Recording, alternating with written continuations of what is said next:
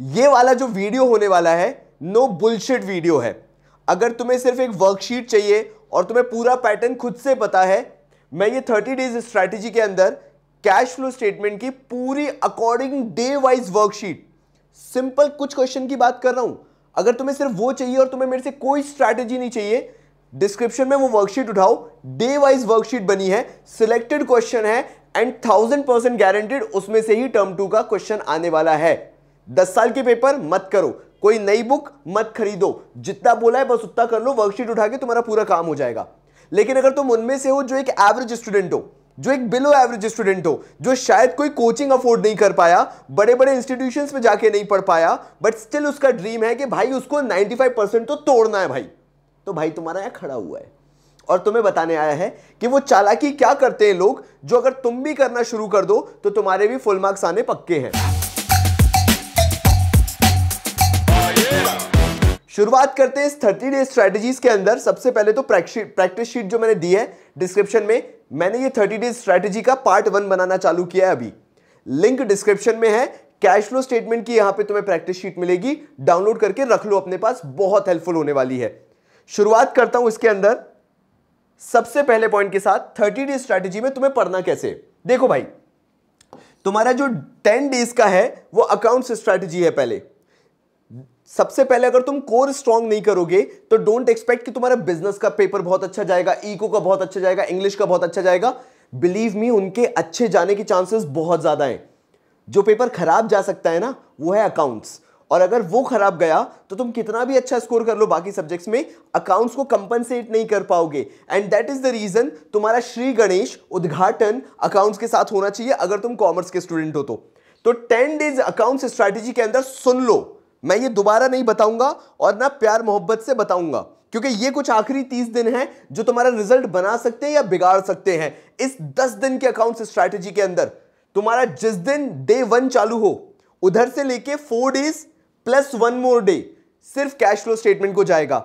And एक चीज़, अगर तुम अभी भी मक्कारी कर रहे हो और तुमने बैलेंस शीट नहीं पढ़ी है तो मैं तुम्हें समझा भी नहीं सकता। तुम ये वीडियो छोड़ के प्लीज़ फॉर गॉड सिक जा सकते हो। बैलेंस शीट आना बहुत ज़्यादा ज़रूरी है। यानी अभी इस वीडियो के एंड होने के बाद, आँखों में देख के बात कर रहा हूँ मैं। अगर कोई चीज़ तुमसे मांग रहा हूँ ना तो वो है बैलेंस शीट। उठाओ और बैलेंस शीट पूरी की पूरी रट डालो, याद कर डालो जो कैश फ्लो स्टेटमेंट के अंदर दी हुई है।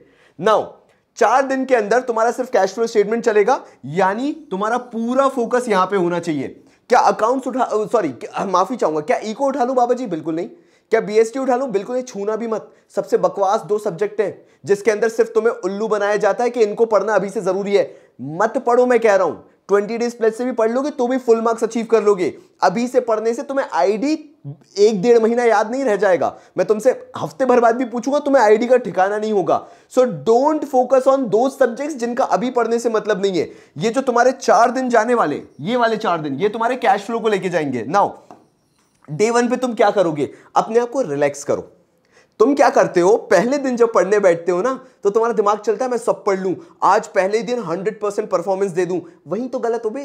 क्यों करना पहले दिन हंड्रेड परसेंट परफॉर्मेंस देना यार? कुछ मत करो चिल आउट करो। बेसिक्स पढ़ना है तुम्हें और थ्योरी पढ़नी है सिर्फ़ ऑपरेटिंग एक्टिविटीज़ की। सब छोड़ दो। Cash flow from operating activities उठाओ। बाबा जी ने बोला है कि ऑपरेटिंग एक्टिविटीज़ के बारे में पढ़ना है। तुमने उठाया तुमने सिर्फ़ ऑपरेटिंग एक्टिविटीज़ के बेसिक्स पढ़े थ्योरी पढ़ी कैसे प्रॉफिट निकाला जाता है आ, कैसे नॉन ऑपरेटिंग आइटम्स जो इनकम है और एक्सपेंसेस नॉन ऑपरेटिंग है उनको एडजस्ट किया जाता है करंट एसेट्स करंट लाइबिलिटीज को कैसे ट्रीट किया जाता है बस उतना करना है।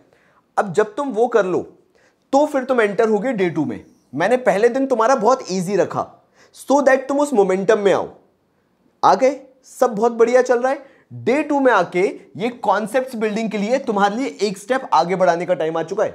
तुम क्या करोगे? तुम cash flow from operating activities उठाओगे। जरा ध्यान से देखो, तुम्हें दो बुक्स में से कोई एक यूज़ करनी है। अगर तुम्हारे यहाँ कोई और बुक चलती है तो भी चलेगा। मेरे को कोई प्रॉब्लम नहीं है। मैंने टीएस गिरवाल और डीके गोयल क्यों लिखा है यहाँ पे? बिकॉज़ ये बहुत ज़्यादा चलने वाली बुक्स है।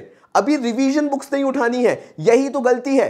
तुम क्या करते हो? यहाँ पे आके रिवीजन बुक्स उठाना चालू कर देते हो। और फिर तुम्हें समझ में नहीं आता यार, मैं गलत कहाँ जा रहा हूँ? एक्चुअल में रिवीजन बुक्स के साथ दिक्कत क्या है? उन्होंने वो क्वेश्चंस दे दिए हैं जो बोर्ड्स में आएँगे। स्टेप बाय स्टेप पैटर्न क्या है? कौन समझाएगा तुम्हें? मैं, यहाँ पे हूँ ना। तो तुम्हें क्या करना है?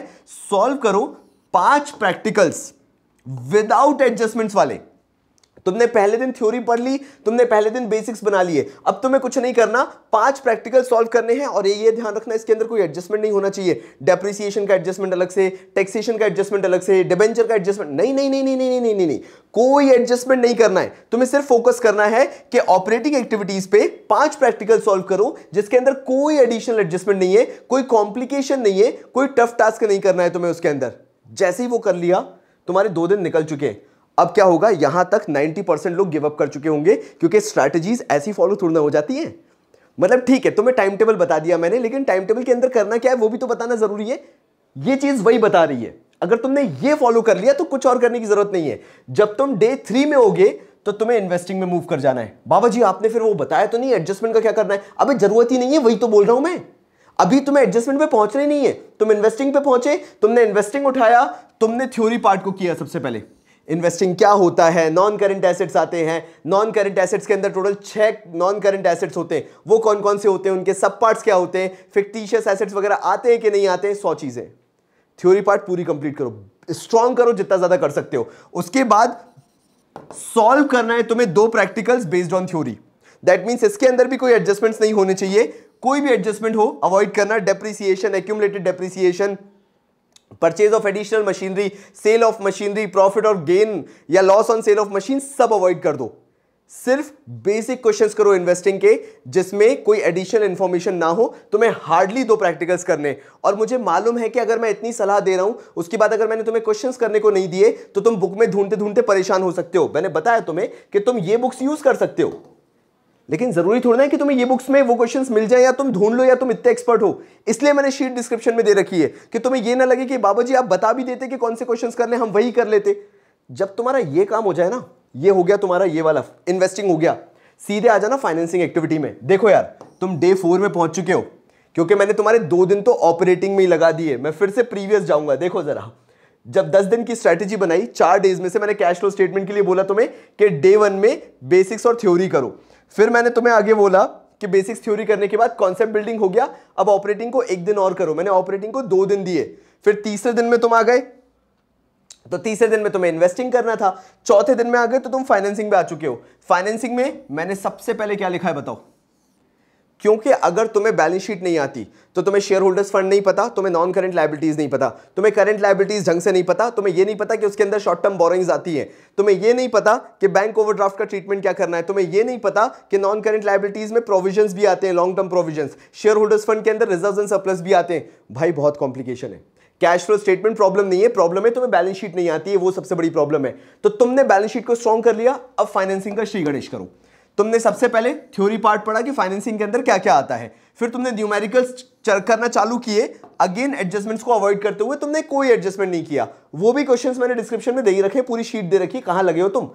ये जब तुमने कर लिया ना, तुम्हारा ये हंड्रेड जब हो गया, अब तुम्हें कोई टेंशन नहीं है। जो मैंने प्लस वन मोर डे बोला था तुम्हें, कि चार दिन तो तुम्हें कैश फ्लो करना है, ये प्लस वन मोर डे तुम्हारे लिए क्या लेके आएगा? तुम्हें कैश फ्लो स्टेटमेंट के अंदर एडजस्टमेंट डे सेलिब्रेट करना है। मतलब आज वो दिन होगा जब तुम पहली बार एडजस्टमेंट्स को टच करना चालू करोगे।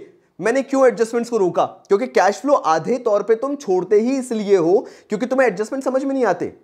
तो मैंने शुरुआत के चार दिन तुम्हें एडजस्टमेंट ही छुड़वा दिए। मत करो ना। शुरुआत में पहले अपने बेसिक्स स्ट्रॉन्ग करो। जब तुमने वो कर लिए तो तुमने एडजस्टमेंट करना चालू किया। Solve only question that includes all three activities but no adjustment अरे भाई, ये तो मैं उल्टा बोल गया। एडजस्टमेंट डे के अंदर, नो एडजस्टमेंट? जी हाँ। अगर तुम्हें एडजस्टमेंट करना है तो उसका पहला कोर होता है, तीनों एक्टिविटीज़ को कंपाइल करो विदाउट एडजस्टमेंट एक क्वेश्चन करो। अगर तुम ये कर लोगे तो फिर तुम एडजस्टमेंट के क्वेश्चंस भी कर लोगे। तो भाई, फिर से बोलता हूँ, अगर तुम्हें एडजस्टमेंट्स को स्टार्ट करना है, पहला क्वेश्चन तीनों एक्टिविटीज़ को कंपाइल करके नो एडजस्टमेंट वाला क्वेश्चन होना चाहिए। जैसे ही तुमने ये कर लिया नेक्स्ट पे आते हैं। Plus one more day continue जो तुम्हारा हो रहा था, वही वाला एक दिन फिफ्थ डे जो तुम्हारा चल रहा है वन एडजस्टमेंट क्वेश्चन करो और ये तुम्हारा खात्मा हो गया। अब तुम बोलोगे, बाबा जी, एक एडजस्टमेंट के क्वेश्चन करने से पूरा कैश फ्लो बन जाएगा? अरे, बिल्कुल नहीं। मैंने कब का पूरा क्वेश्चन बन जाएगा? लेकिन वो एक एडजस्टमेंट का क्वेश्चन करने से जो तुम्हें कॉन्फिडेंस आएगा, उसके बाद तुम कोई भी क्वेश्चन उठाते जाओगे तो तुम्हारी अंडरस्टैंडिंग इतनी बढ़ चुकी होगी कि तुम्हें सब कुछ बहुत जल्दी जल्दी समझ में आएगा। यानी वो जो तुम्हारा मोमेंटम तुम मिस कर रहे थे, मैंने ये पाँच दिन की स्ट्रैटेजी जो तुम्हें बना के दी, उसके अंदर तुम्हारा कंटिन्यूशन बन गया कि तुम्हें चीज़ें करनी है तो कैसे करनी है? उसके बाद तो तुम खुद ही अपने आप करते चले जाओगे कैरी ऑन कर लोगे। फिर तुम्हें ब्रेक लेना है।